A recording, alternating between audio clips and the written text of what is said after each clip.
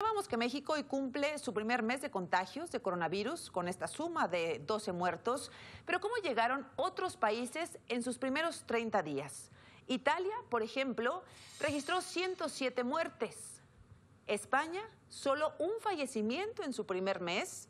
China y Estados Unidos no registraron ninguno.